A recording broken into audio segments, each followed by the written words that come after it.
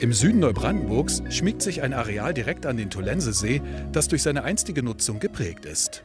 Auch der Name Reparaturwerk Neubrandenburg hat sich in dem Kürzel RWN erhalten.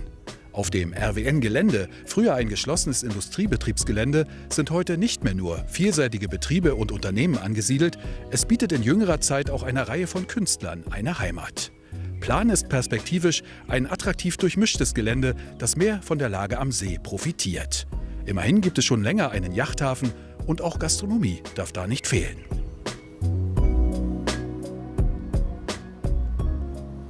Deine Auszeit unter Freunden lautet das Motto in der Hafenstunde am Tolensesee. Die Hafenstunde ist Ausflugslokal und gleichzeitig Anlaufpunkt für zahlreiche Beschäftigte im Gewerbegebiet. Keine anderthalb Jahre nach der Eröffnung hat die Hafenstunde bereits einen treuen Kundenstamm gewonnen. Und das, obwohl das Geschäft immer wieder von Schließungen infolge der Corona-Krise unterbrochen wurde. Wir haben ja jetzt bis jetzt noch kein Jahr durchgezogen gehabt.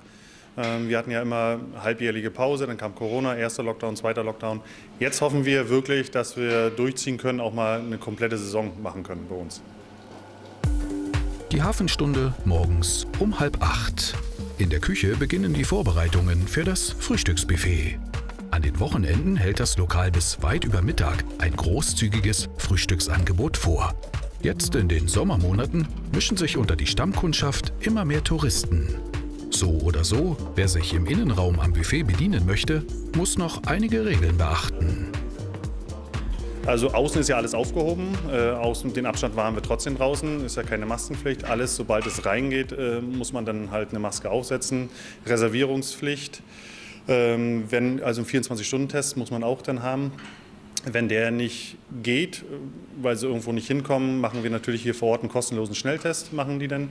Und dann wird kurz gewartet und dann können sie reingehen.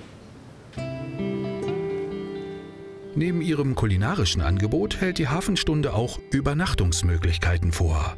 Doppelzimmer mit Seeblick und eigener Terrasse. Beliebt ist die Möglichkeit, hier zu übernachten, auch bei Veranstaltungsgästen. Seit Eröffnung der Hafenstunde hat die Ausrichtung von Veranstaltungen sowie die Vermietung von Veranstaltungsräumen einen festen Platz im Unternehmenskonzept. Jetzt, nach den Lockerungen, kann dieses Standbein wieder richtig zum Tragen kommen.